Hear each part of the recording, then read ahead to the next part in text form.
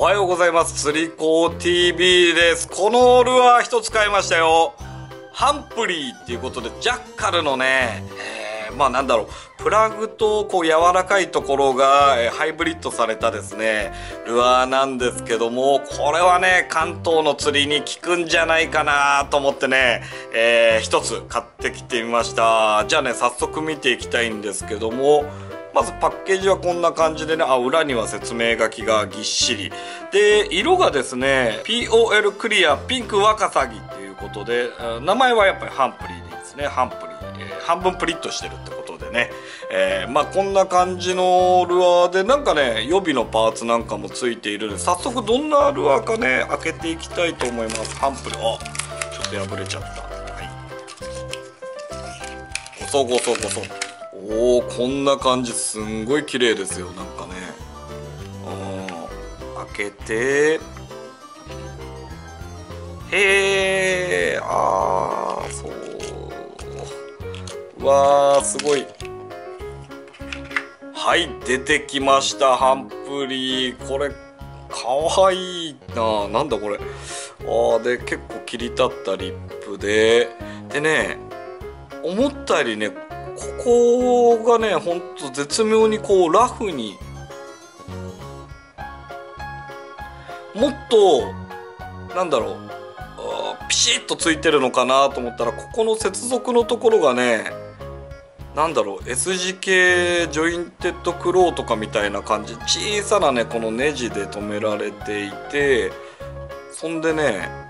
結構稼働する。この感じ。わかるかな。こう。可動域がもっとカチャってつけた感じだともっとなんだろう半分柔らかいんだけどビシッとねこう後ろまでまあ柔らかいは柔らかいんだけどシュッていってるのかなと思ったらここがね非常に繊細にラフな感じでね。ただこれはもう本当ねこういうね丈夫な素材なんでなんか引っ張ってすぐちぎれるとかそういうことではないと思うんですけども。へえで色はねこんなね綺麗な感じで顔も小さいけどねすごいね精悍な顔つきしてますね。はい。えー、これちょっと説明見てみないとどんな感じかってのがね、えー、早速ちょっとねどうやって使うのか見ていきたいと思います、えー、ハンプリー。房総半島リザーバーで活動する、えー、川島勉が手掛けた小型ジョインテッドミノーがハンプリーです。ハード素材とソフト素材のハイブリッドボディで極めてライブリーなアクションが特徴のミノー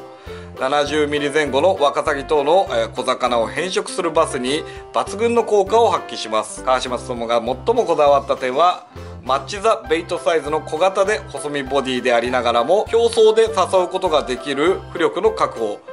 表層で瀕死の小魚を演出する場合に浮力は最も重要な要素と言えました。素材やパーツを何度も選別し理想の浮力を確保することに成功。浮力により表層でのシェイキングや波紋を立てたデッドスローリトリーブなど細かい誘いが可能になりスレたバスへの繊細なアプローチを実現したのです。他にもミディアムリトリーブで逃げる小魚を演出したりドッグウォークさせたりと使い方はいろいろ。ベイトフィッシュパターンでのハンプリーの威力をぜひご体感ください。ということで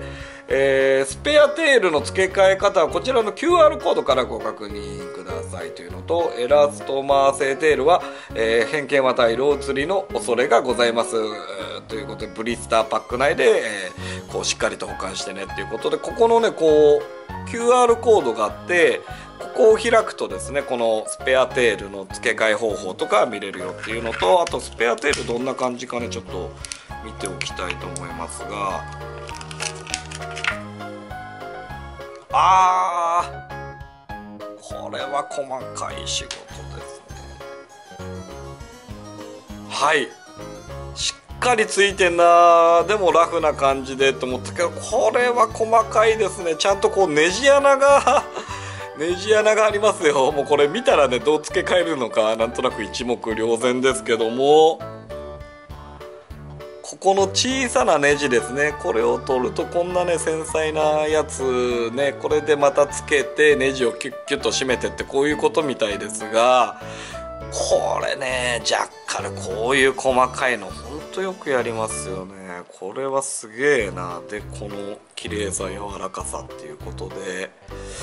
これはねちょっと使ってみたいなっていうことでまあどうですかね。今まだ寒い時期だけど高滝ダムなんかねあのワカサギの一発目のね登っていく時に寒い時期でもね浅いところでワカサギ模したルアーがね大爆発するとかねそういうパターンがあったりとか、まあ、亀山ダムとかもねあのワカサギ放流が比較的成功していてワカサギ好きのバスだと結構寒い時期でもねあれレンジ別にワカサギってそこべったりじゃなくてワカサギの群れさえ表層付近にいたら案外ね真冬でもねあの表層の釣りとか効く場合があったりりとかねただまあメインに活躍するのはまあ3月以降とかなのかななんていう風に考えてますが結構でも2月とかでもね本当暖かい日でやったらあのシャローのフラットにワカサギがね居ついているなんていう時はね真冬でも非常に浅いレンジでねあなんか釣れたなんていうイメージがあるので。まあ、そういった時にね使ってみたいのとあとは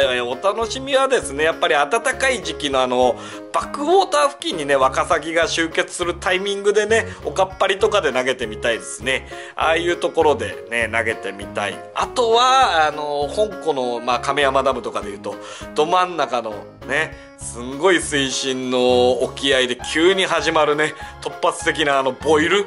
ボイル打ちね。えー、普段はねあのワーム素材のやつをピピピピピピってって、ね、こうなんだろうボイルに入れて食わしたりっていうのがメインですけどもそんな時にも入れてみたいですね。これは小さいけどこうトリプルフックがね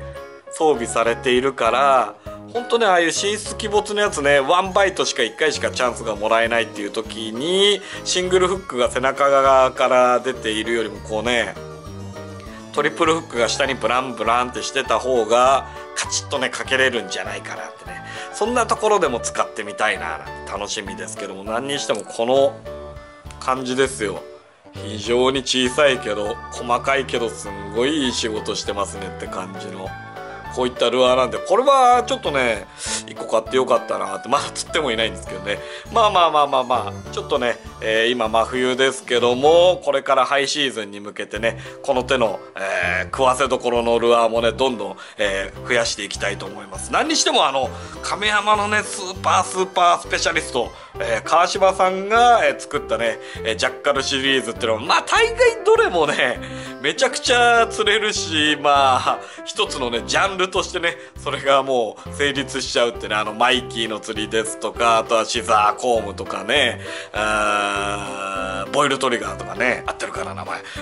まあそんな感じでね、えー、いっぱい出てきている揃ってきているですね、えー、川島さんシリーズのもう第何弾なんだろう。もう相当いっぱい出てますからね。とにかくこれは、えー、期待の一発じゃないかなと思って、え買ってみましたよ。はいというわけで本日の釣り子 TV はこちら。ねえー、千葉県これ亀山ダム生まれなのかな。あの川島さんプロデュースのね、えー、ハンプリー。ね、え、このハード素材とソフト素材が見事に融合した、えこのルアーを一つ買ってみたよってこういったルアーでした。はい釣り子 TV でした。